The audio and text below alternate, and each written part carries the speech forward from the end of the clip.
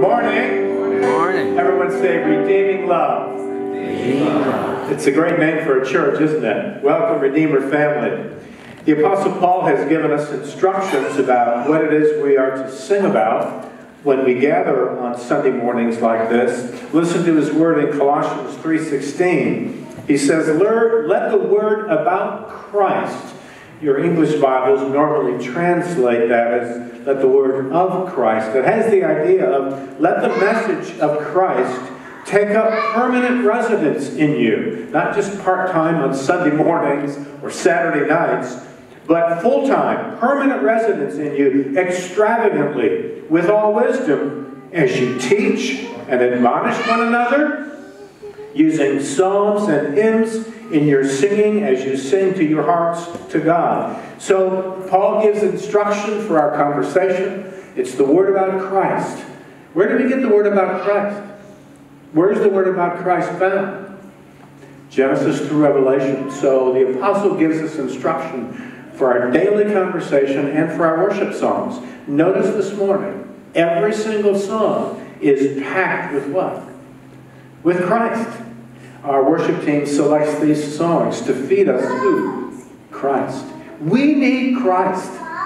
We need Christ every day. We need Christ throughout the day. And the Bible, Genesis to Revelation, gives us a feast of Christ. Not long from now, I'll show you from Proverbs 8 how Jesus is talked about as the wisdom of God prior to the creation. But today, focus our hearts on Christ through this banquet that the worship team feeds us this morning. Pray with me. God, thank you for the hope that we have in Christ, but also for the presence we have today.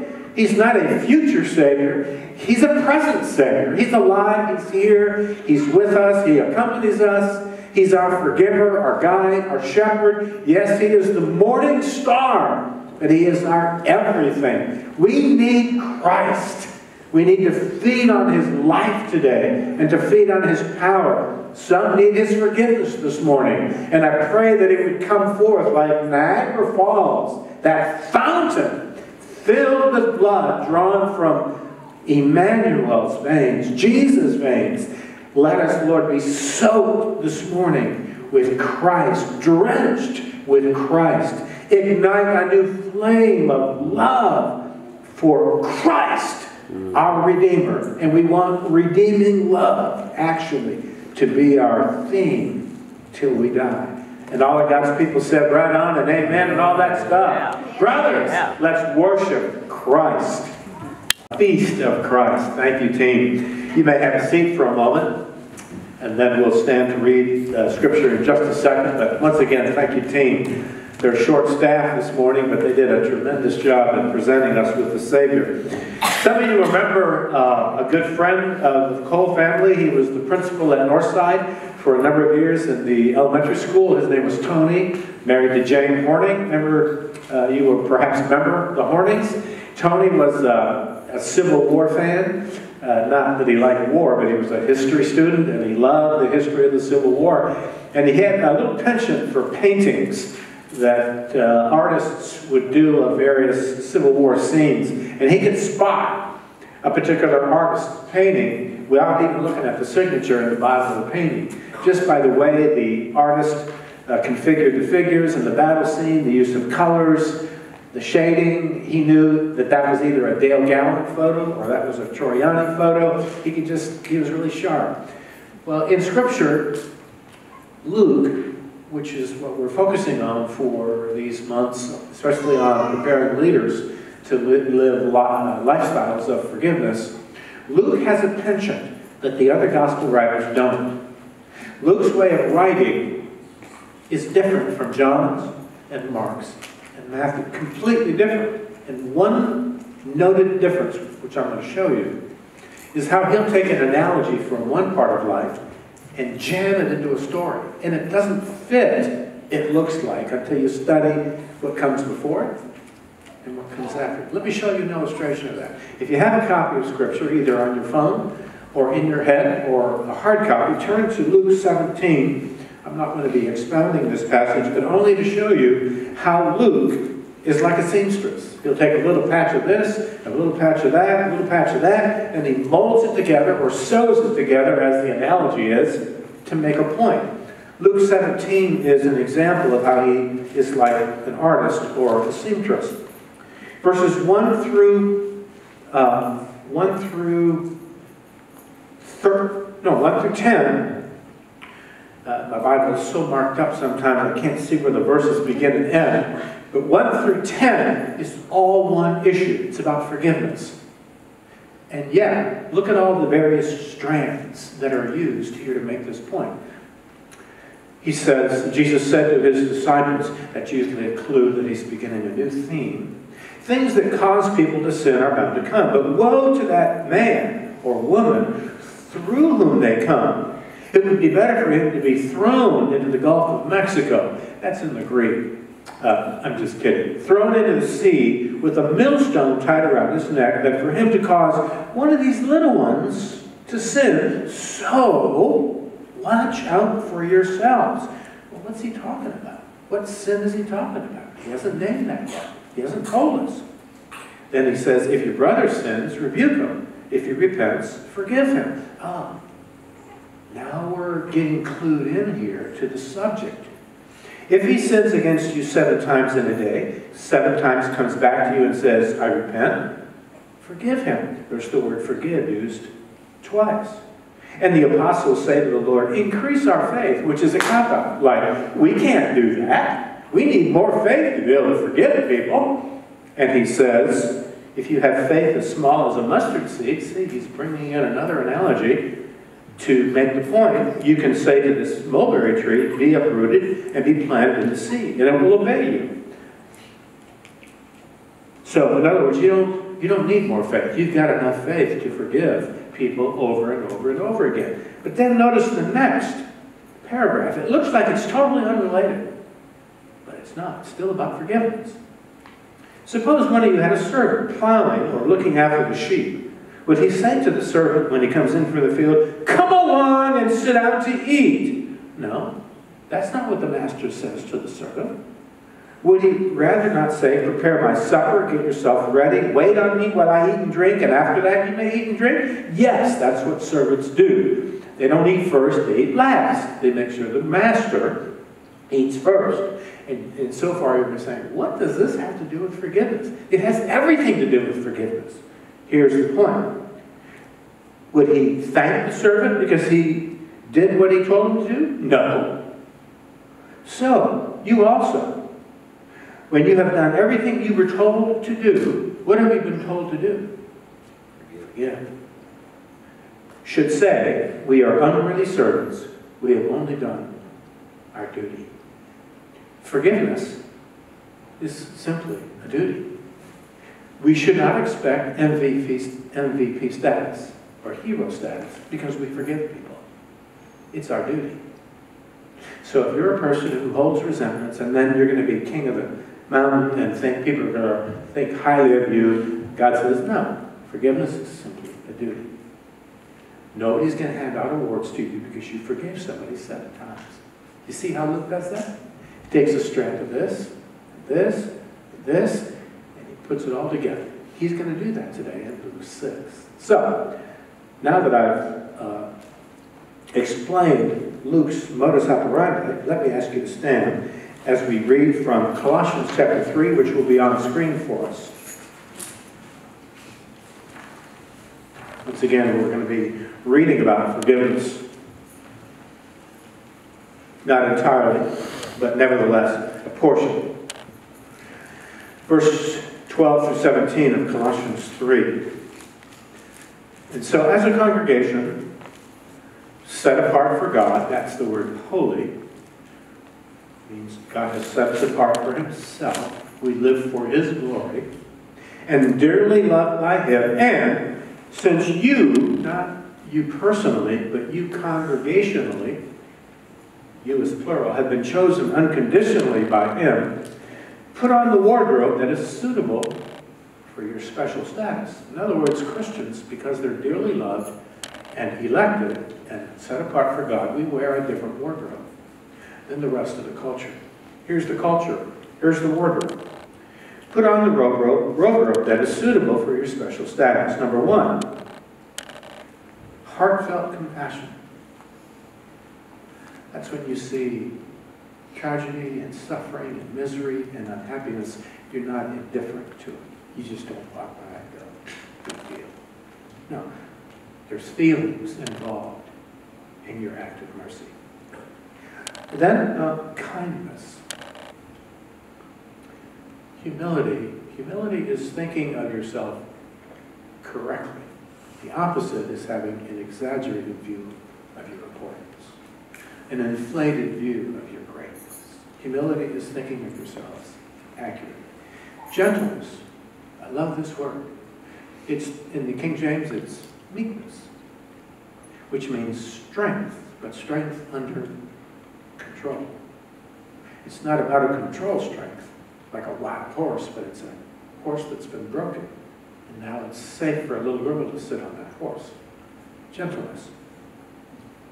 Long-temperedness. Macrothumia. It means patience. It means that you don't have a short fuse. You fly off the handle and get mad easy. And you have a long temper. It takes a lot to get you wound up. Next. Holding yourselves back from one another. And you want to get in someone's face and you hold back. Always graciously forgiving each other's faults. Canceling the debt, which is the idea here of forgiveness. I cancel the debt. They don't owe me anything anymore. They owe me nothing. No explanation, no apology, nothing. They owe me nothing. Forgive each other as quickly and completely as the Lord has graciously and completely forgiven you. And regardless of what other clothing you put on, always wear the outfit of love. The belt that holds everything together in place and produces perfection. Let the peace of Christ that let the, let the peace that Christ brings always be your umpire. That's literally the word. Your referee, calling the shots, settling disputes in your heart. Here's why. It's to peace that we were called. That is called by God as a body. Imagine a body like this at war with each other. Imagine my right hand really has something against my left. That would be a tragedy. And cultivate an attitude of thanksgiving, gratitude. Cultivate it. doesn't happen overnight. It's hard to cultivate that attitude when tough things come into our life. Let the word about Christ take up permanent residence in you completely. And here are some examples of how to let that word of Christ take up, take up permanent residence. Here it is. Use the word about Christ as you, that's plural, you men and women, teach and admonish each other, using wisdom to guide your efforts. Here's the second use of it. Use the word about Christ in songs, hymns, and spiritual songs. Do you see that the church is not supposed to sing one kind of song? There's a variety.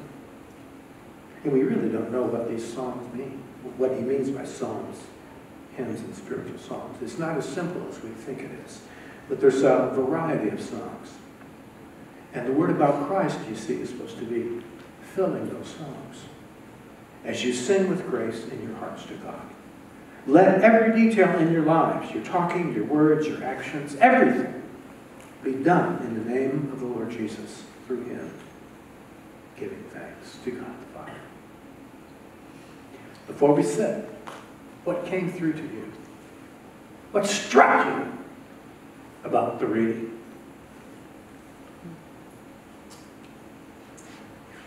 I like the word um, umpire and just the idea of, of letting um, letting Christ's peace be the, the dictator of our response, um, the one that that decides you know how things should go.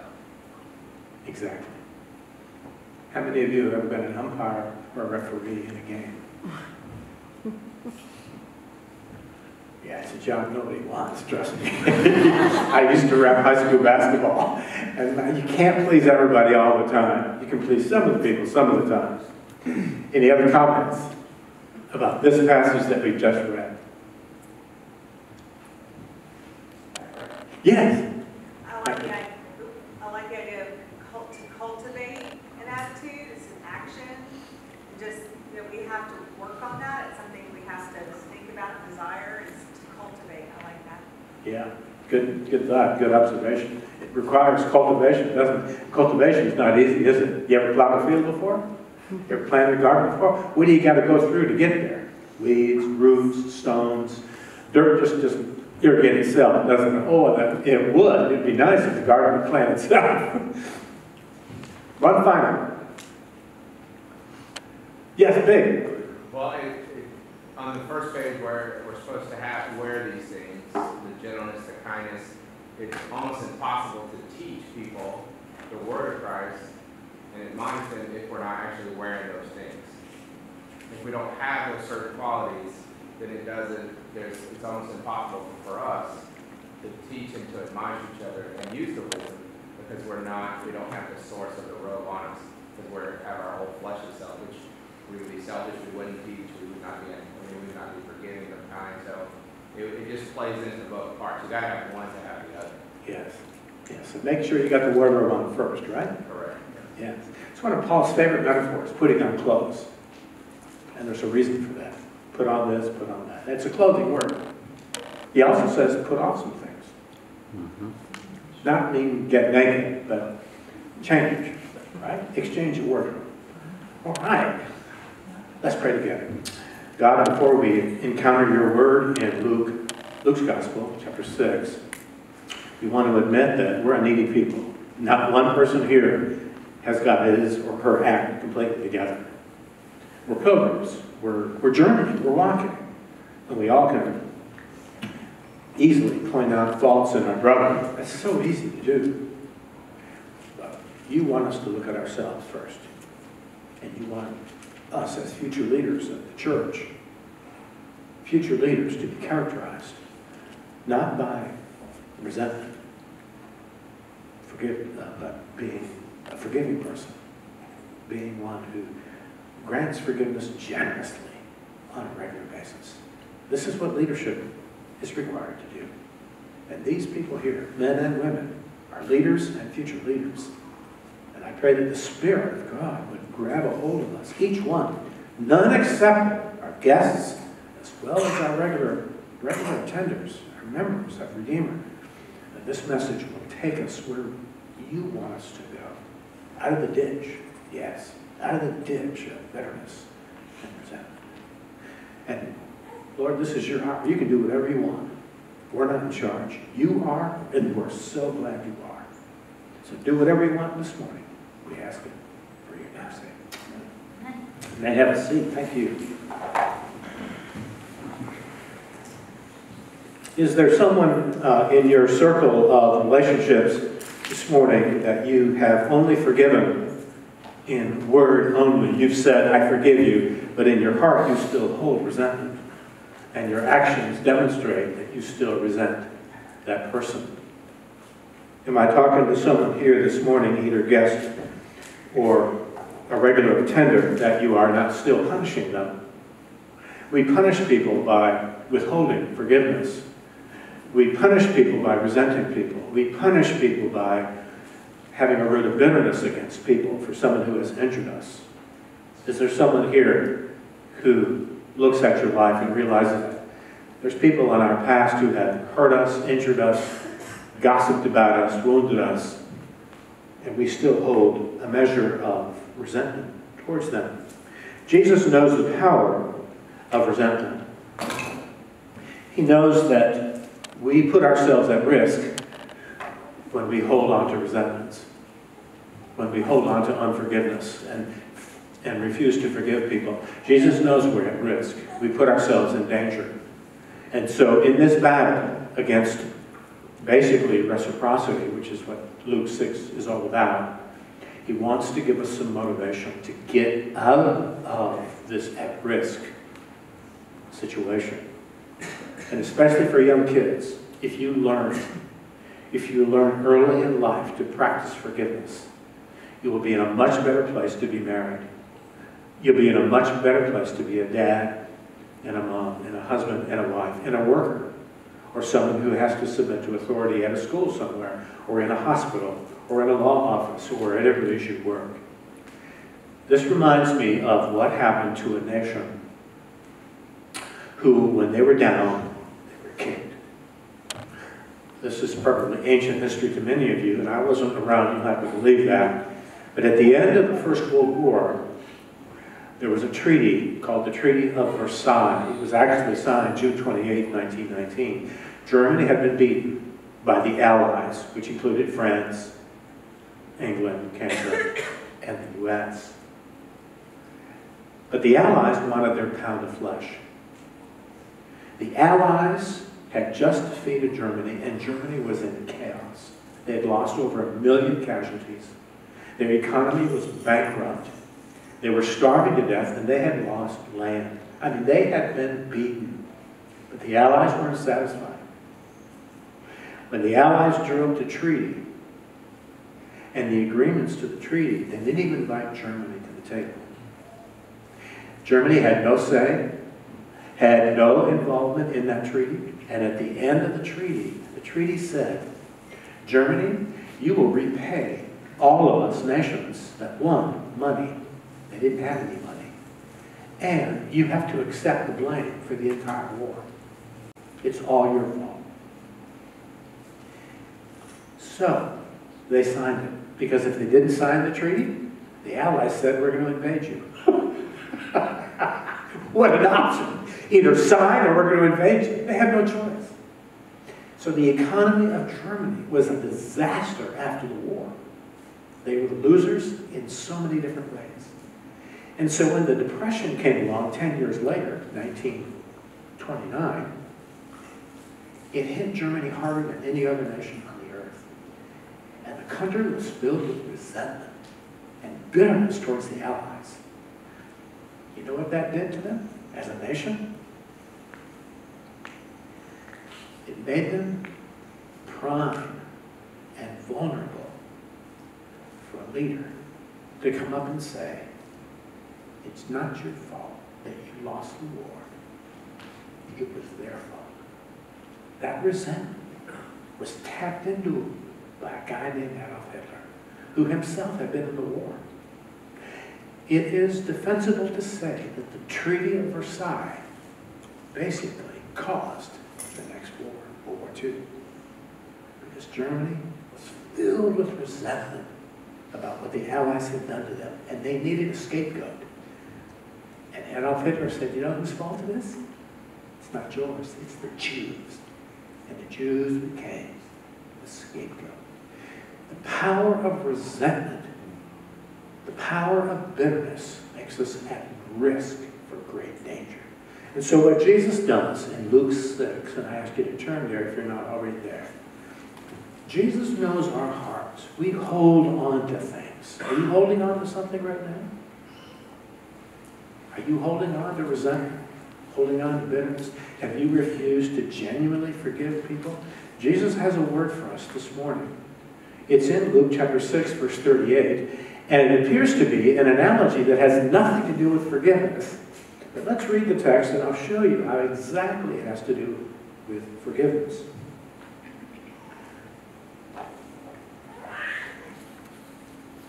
Verse 17, I'll pick up from last week. And this is all in the context of forgiving. Don't judge. And you won't be judged, that is, by God. Don't condemn, and you will not be condemned by God. You see the reciprocity? Forgive, and you will be forgiven by God. Here's the next verse that seems so out of place. But again, remember Luke's MO, his modus operandi? He inserts things into an argument to make a point. Give, and it will be given to you. See reciprocity? Just like don't judge and you won't be judged. Don't condemn, you won't be condemned. Forgive, you'll be forgiven. Give and it will be given to you. Well, how much? How much will God give to me? Answer, a good measure, pressed down, shaken together, running over, will be poured into your lap. And then he clinches the nail here. He, here he clenches his argument and says, For with the measure you use, it will be measured to you. Paul, or not Paul, pardon me, Luke is taking his analogy from the marketplace. This is what Luke does. He takes illustrations from everyday life that everybody understood, and he says, here's the point. When you went to the market to buy grain like wheat or barley, you would go to a vendor. He would be seated on the ground on some sort of a blanket, and he would have his grain in big piles in front of him. And you would approach him with some sort of a measuring device, like a pot, a clay pot, or a basket, or he may even use his own lap. And you say, I want 10 measures of barley, because barley and wheat were used to make bread, the staple of life, the staff of life. I mean, you eat bread every day, and you make bread every day in the Middle East. And so if you said to this grain seller, this farmer, I want 10 measures of barley, what he would do is take your measure, your basket, and he would pour it in about three quarters full. And then he would shake it. And then after shaking it to make sure that each head of grain sank a little lower in the measure, he poured more to fill the basket totally, then he would shake it again in a circular motion to make sure of what? That there was no room left in the basket for more. Then he would take his hands and push down, press down is Luke's word, he would push on the grain to do what? To make sure that he was filling that measure completely. And then he would pour to make even a cone like a, like a teepee. And he would take a pole and shove it down the middle of that teepee of grain and pour in more heads of grain. Finally, the measure that you had given him to fill is completely full. Well, what is Jesus' point? When you forgive people, when you extend forgiveness to people, God says that in response to you forgiving people, I'm going to pour blessings back into your lap, and I'm going to be liberal about it. I'm not going to uh, penny pinch blessings that I pour into your lap. If you truly forgive people, I'm going to pour untold liberal blessings back into your lap. You see how this is an incentive for us to forgive? He clinches his argument with the next phrase, for with the measure you use, it will be measured what? Back to you. So in a sense, we have in our hands the tool to determine how much God blesses us. And it's how we extend forgiveness. If you forgive people a little bit and then take it back, God sees what we're doing, and he withholds his blessing on your life. But if you grant total forgiveness to someone, absolute, total, complete forgiveness, God takes that measure that you used and pours blessings into your life. Who doesn't want God's blessings in their life? Who doesn't? Jesus knows how stubborn and how prone to pride we are, to hold on to things, we forgive them and we take it back on Friday. We forgive them on Tuesday. So he gives us an incentive, a motivation. Jesus knows how selfish our hearts are, how we are inflated with how important we are, how cool we are. So he gives us this motivation to think about, do I want God's blessing or do I want the fun of cherishing my grudge against somebody? Which is better? So I'm, I'm talking to somebody this morning who has this habit of unforgiveness, this habit of resentment, I'm hoping that this illustration will motivate you to rethink your position today in life. To realize that God is withholding his blessing from you until you become liberal with your forgiveness. Regardless of what has happened, regardless of who did it, regardless of what they said or didn't do, God withholds his blessing on your life. You really want that? I don't. I want God's blessing. And I have that power within my hands. So do you. So I've said two things thus far this morning. Jesus promises that God will what? He will bless us abundantly based on how we have forgiven generously. And secondly, to confirm that, to shore it up, to clench the nail, he says, the measure you use is the measure that God uses with us. As we think about how this applies to our life, a number of things come to my mind. And uh, I have more than usual this morning. Hopefully that will not be a detraction, but it will be a help to you. Um, Jesus knows how prone we are to hold a grudge, and so uh, to once again summarize what Luke has said, I pray that it will sweep up across the congregation this morning and persuade every one of us, every single one of us, to consider our role, consider our pattern, consider our habit of forgiveness. Now let's move to what forgiveness means. I'm not sure who created the word forgive. It's a little bit confusing, but the Bible uses in the New Testament three different words for forgiveness. They're all translated forgive, so you have no idea what they mean, but they all have a different nuance. And I think they're all worthy of bringing to the table this morning. So let me serve them up uh, for you. The first word is the Greek word aphiemi. It's the word that Jesus uses in the Lord's Prayer. Forgive us our debts as we forgive those who are indebted to us. Word aphiemi means to cancel a debt. Um, when the Israelite brought a lamb to sacrifice, he was bringing this lamb as payment for his sin. He owed a debt to God. And so he gave the lamb to the priest. He himself cut the throat of the animal, and then the priest placed that lamb on the altar. The wrath of God, the punishment of God, fell on that lamb, and the sinner walks away free.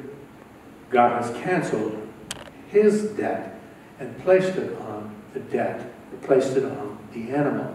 So when we forgive somebody, we are what? We are canceling their debt. What are some debts that we expect from people who have wronged us? What are some debts that you expect? Well, you might expect an apology. You hold that person sort of in debt. But you take that debt, that I owe you, and you tear it up. You tear up that IOU, you You owe me nothing. You don't owe me a confession, you don't owe me an explanation, you don't owe me any acting nice towards me. The debt is canceled. That's part of forgiveness. That's what God does to us. That's what we do for one another. We cancel the debts. So I'm debt free if I'm forgiven. The second word is the word that Paul likes to use in the book of Ephesians because it focuses on grace. It's the word charizomai, based on the Greek word charis. What does grace mean if it's attached to forgiveness? What does it mean to graciously forgive? Well, I think all of you have been in church long enough to know that grace is something that God does for us undeserved. God gives us something and we don't deserve it. We deserve the opposite. So when we graciously forgive, the nuance that I would like us to hear this morning is that we're not looking for people who deserve forgiveness. We're not looking for people who've done something to deserve our forgiveness. No, we graciously forgive them, even though they don't, in our minds, necessarily deserve it. We forgive them whether they deserve it or not. That's to graciously forgive. The third word is used here in Luke 6.37. Forgive, and it will be forgiven you. It's the third word. I like this word. It's the word apoluo. Apoluo is one of the very first words that a Greek student learns in terms of what it means. And it means this. I can do it with my hands. What did I just do? I let go. It's to release. It's to let something go. Have you heard that phrase with people? Let it go. Let it go. That's exactly what needs to happen. But wait a minute. What are you letting go of? What are you letting go of? Jesus says, forgive. Let it go. And God will let it go for you. What are we letting go of? Usually, it's expectations. Those unseen little thoughts in our head where I'm expecting them to come back to me and get on their knees and beg forgiveness. I'm expecting them to come back to me and say, you know what, I was wrong. And many, on many occasions, how long are you going to wait until that person comes down and gets on their knees and says, I was wrong? How long are you going to wait? You need two or three lifetimes because they're never going to come back. Let it go. Let go of those expectations. Let go of that grub. Grub. Grudge. Grub too.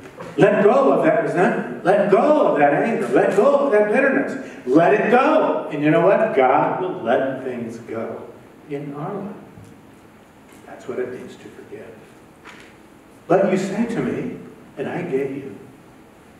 I forgave him last Thursday, but a couple of months later, those thoughts came back up to me. How could she do that to me?